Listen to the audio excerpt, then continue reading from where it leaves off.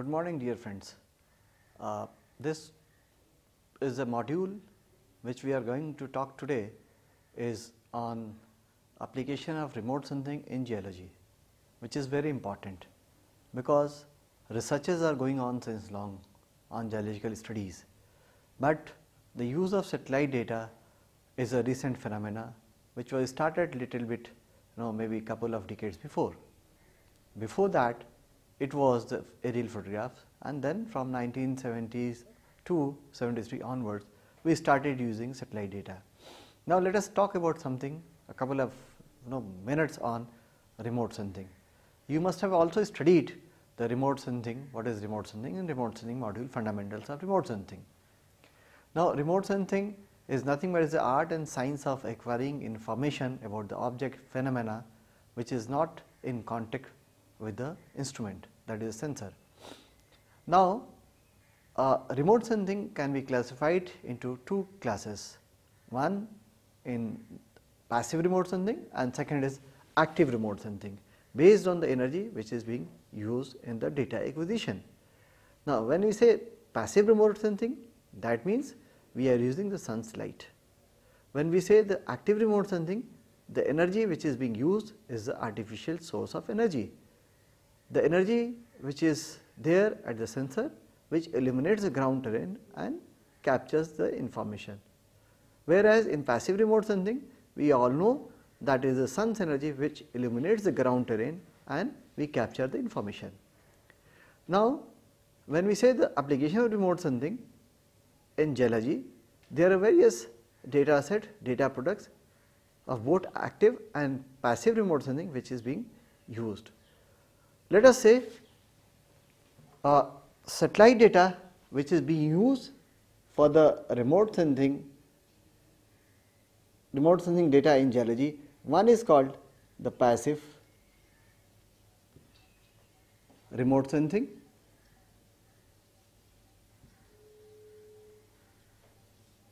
And second is active remote sensing. Now, this is I just now explained.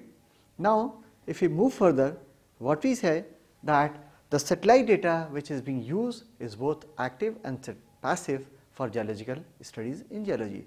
Now, let us see the detail about the satellite data set which is being used for the ge geological studies. For that we can classify into four classes.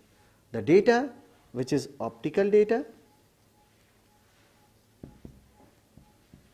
which is sense in the region somewhere between 0.4 to 0.7 micrometer.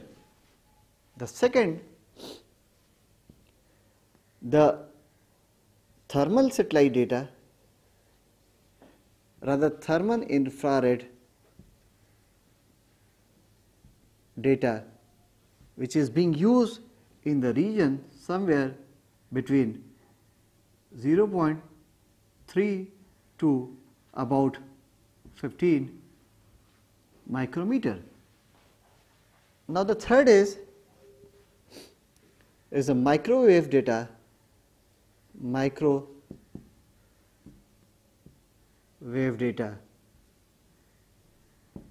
which is being sensed between somewhere between 0.3 to 3 nanometer nm nanometer to 3 meter. Now, the fourth that is hyperspectral data hyperspectral data which sends somewhere in between 0.4 to 2.0 5 micrometer. Now, I was trying to give you a glimpse on the satellite data which is being used in geological studies and these are the broad classification of the data which are sensed in different region say optical 0.4 to 0.7 to hyperspectral from, from 0.4 to 0.5 Now, let us see the application and the use of these data set in geological studies. So, if we go in detail what we can say that there are n number of application areas where these data sets are being used. Maybe we can talk each one in detail little bit. So, before going to that if you see the figure 1 where we are talking about the active and passive remote sensing how they are being used. So, friends if you see the figure 1 which is very simple and basic you must have also seen this kind of diagram and figure in fundamentals of remote sensing where in the left side is shown as passive, passive remote sensing where the bottom left is the sun which illuminates the ground terrain as I said before and the energy is reflected back to the sensor and that kind of sensing we call as a passive and the right side of the figure is a active remote sensing where the rays from the satellite sensor is coming on the ground and it goes back. So, figure 1 is, is general about the different uh, sensing technique.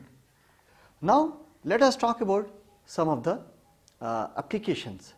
So, if we talk about the applications and the use, the application in use is n number. Say for example, study of lithology, okay.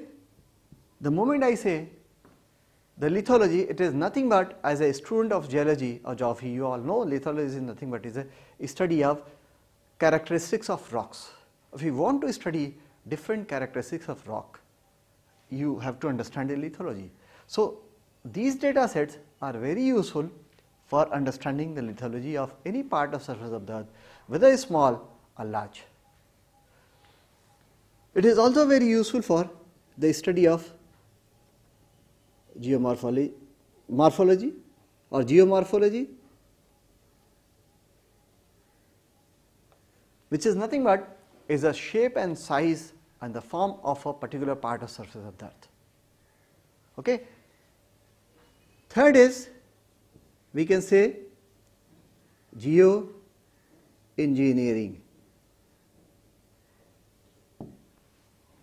which talks about the study of you know landforms, study of uh, hazards, maybe landslide, maybe volcanic eruptions, maybe flood and many more. We also have the satellite data use an application in another field that is geo environmental studies.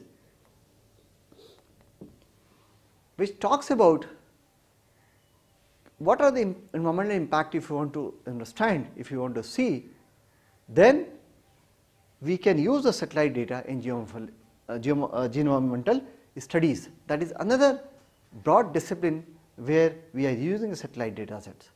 Now, let us talk about something little bit detail on each one of the data sets before going to specific application areas and in which I will be speaking on a little bit in detail what are different data sets, what are different data products that is being used for these kind of studies that will give you more insight into the subject matter. So, friends we are trying to see what are different data that is being used in the geology and I have showed you that there are data right from optical to microwave to thermal 1, 2, 3 and 4 to hyperspectral. Hyperspectral. As I said mentioned before optical takes data 0.4 to 0.7 micrometer, microwave take 1 nanometer to 1 meter, thermal takes 3 to 15 micrometer. And hyperspectral takes data from 0.4 to 2.5 micrometer. Now, I can tell you that with the advancement of sensor technology, the application of satellite data has increased, increased manifold in the geological studies. Before that, we were using data from aerial photograph. But as I said before that with the starting of remote sensing from 1972 onwards with the launch of NASA's program Landsat series of satellite Landsat 1 in 1972. So, what we have? We have started getting the optical data within this region and even beyond this in the infrared region. Now, what we have later on as I said that with the development of sensor technology, the scientists develop sensor which can use the microwave region of electromagnetic spectrum. Sensors are developed to sense, scan the earth surface feature in the thermal region of EMS. Sensors were further developed to use and to detect the earth surface feature in a hyperspectral region. I will speak little bit detail in this. So, what we have that if you take the say for example, microwave data and one very important data is the data of SAR is a sensor that we call is a synthetic aperture radar data which takes in situ measurement of the land surface feature which is a new and important application of satellite data in remote sensing. Now, if we see the thermal data which sense somewhere in between 3 to 15 micrometer, what we have that the data which takes the land surface temperature in a sense that it, it takes the uh, if you take uh, data of any particular part of surface of the earth what we have that uh, there is change in temperature. When there is sunlight what we have the land surface get heated. And then at night it gets cooled.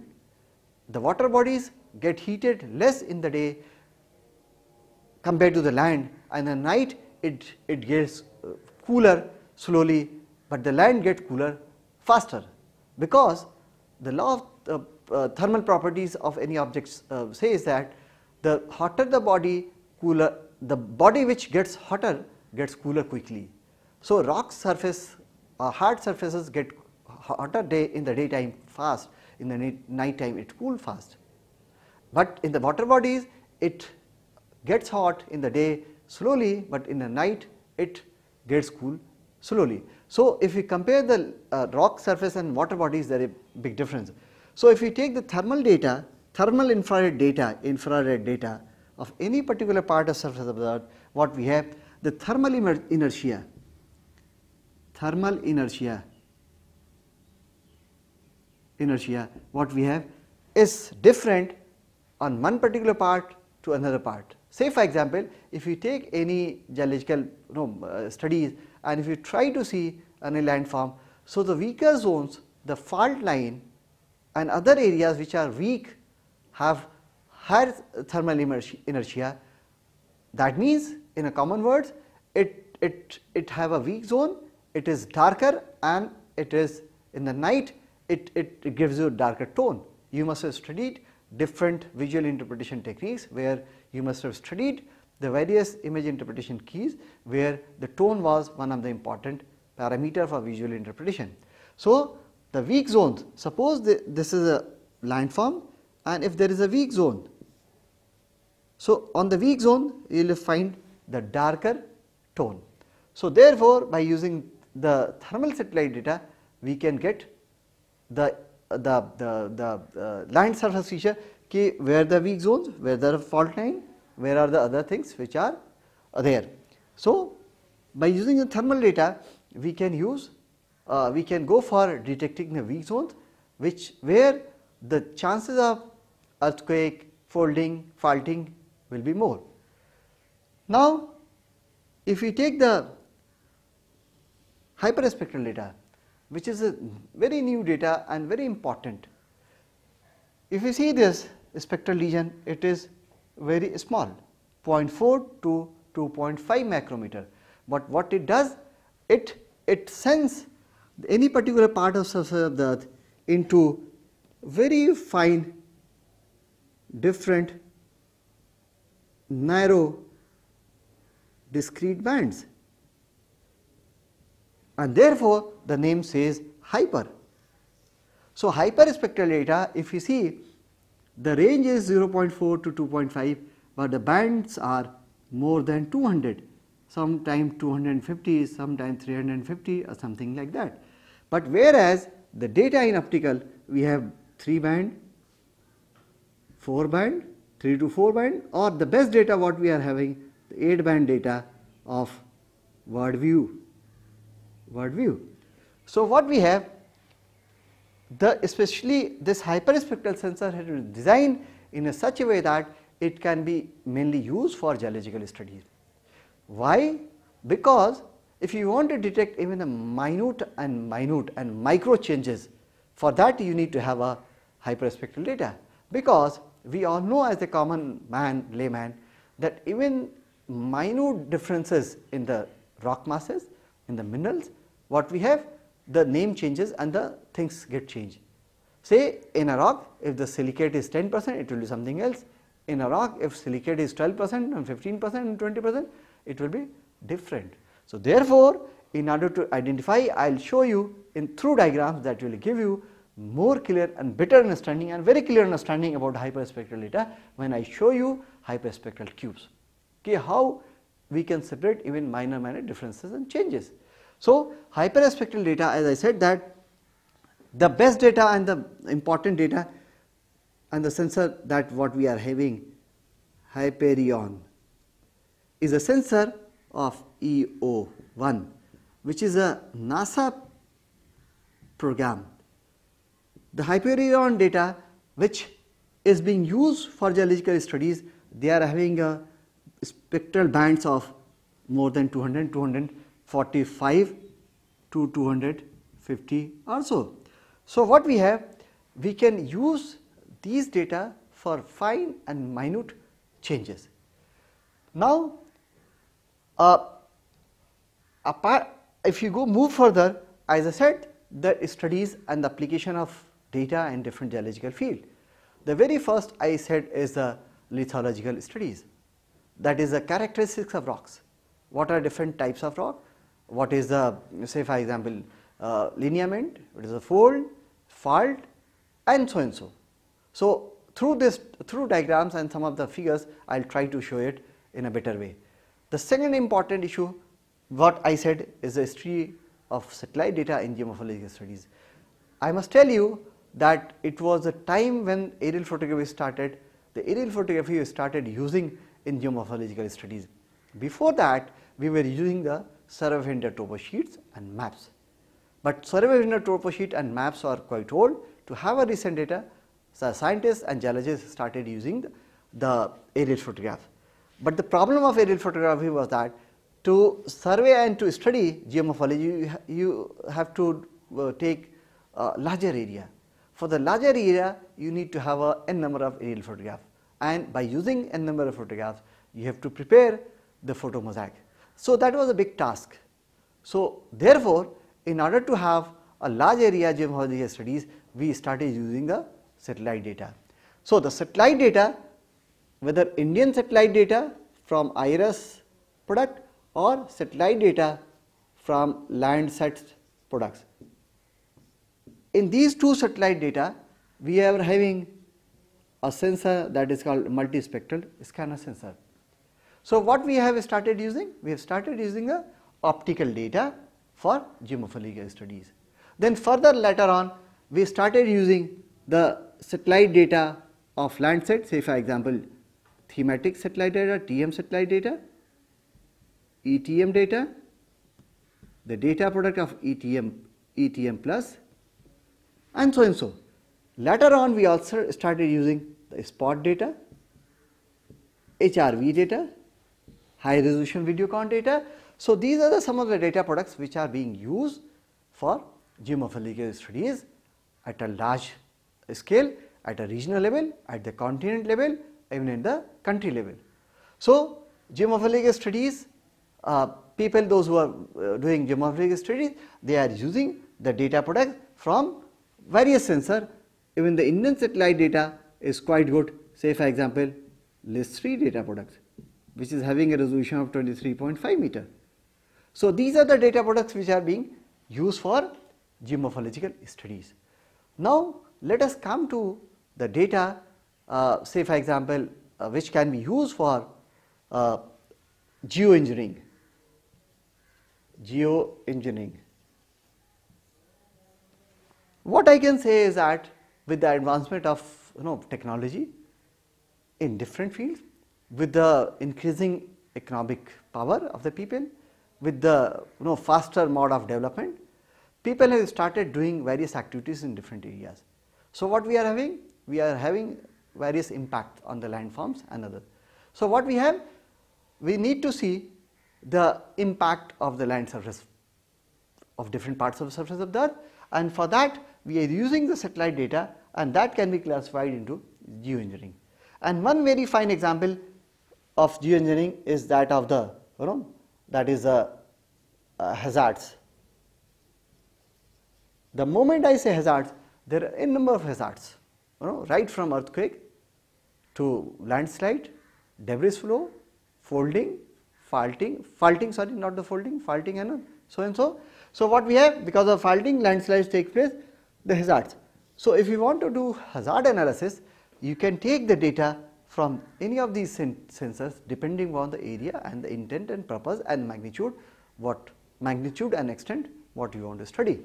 So, hazard mapping is also very important and that is can be classified into geoengineering. Now, the second is with the you know increasing human activities with the increasing human eh, activities means we are going to the areas which are prone to flood in the floodplain and so and so. We are building the houses, industries and so and so. So, we are enclosing the flood. So, therefore, in order to assess and understand the you know the flood impact and the floods, we are we can use these satellite data for flood hazard mapping and assessment and so and so. So, this is another very important hazard. Then the earthquake earthquake is a very frequent common phenomena which is taking place. Then we have the landslide. Then we have the tsunami. So, all these areas, soil erosion, all these areas can be, you know, all the issues which comes under the geology can be studied and can be understood by using these other satellite data. Since I have to you know uh, let you know within half an hour, so I am giving you a glimpse of a very you know uh, superficial glimpse of a clear understanding about the application of satellite data for various geological studies. In the geomorphic mapping, a very important, a very uh, simple and common uh, feature is that of the Oxbow Lake. What you see in the figure 7 is Oxbow Lake that is a uh, when the river comes in the old stage in the plain areas is started meandering. So, during the process of meandering what we have uh, the, the, the, some portion of the river is separated out and it becomes a uh, say for example is a lake. So, if you see figure 7 the left side of this uh, the uh, ring like appearance it get detached in some, some period of time and it becomes a oxbow lake. The moment it gets separated it becomes oxbow lake and the river start flowing straight. So, figure 7 uh, you see is nothing but is a simple subset of satellite image uh, of uh, optical data. Now, friends let us see another very important application of remote sensing in geology and that is the application in mineral exploration. Exploration. This mineral exploration we all know that the mineral is a very important asset of a nation. So, in order to understand and to know where all these minerals are and how much. So, for that as I said before that with the advancement of sensor technology, there is another sensor that we call is a SWIR, short wave infrared region. In the SWIR band, there is a satellite that is called WorldView 3 so, WorldView 3 satellite data in the SWIR region which sends the earth surface feature into narrow fine narrow, narrow bands where we can discriminate, we can separate out, we can find out, we can see the different mineral deposition, there are different minerals which are there in a part of surface of the earth. Figure 8 shows the exploration of mineral by using satellite data and I mentioned my discussion that the most important recent satellite data that is Worldview 1, Worldview 2 and 3. So, in the Worldview 3 there is sensor that is called the SWIR short wave infrared. So, if you see this is the, uh, the extracted uh, information that is being represented in figure 8. If you see uh, the bottom left uh, part of this image uh, which has been classified, what you see that has been zoomed in on the right side of it. If you see the index then, then we have alunite, then calcite and then silica and so and so. So, what we see that these uh, no, uh, the minerals and rocks can be separated out if we use the uh, data which is being scanned and which is sent in the more spectral bands.